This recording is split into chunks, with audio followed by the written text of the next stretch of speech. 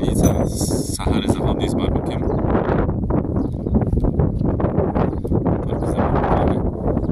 Chcemy zjeść tadzina. Ale pan powiedział, że właśnie jest ramadan. Nie wypada.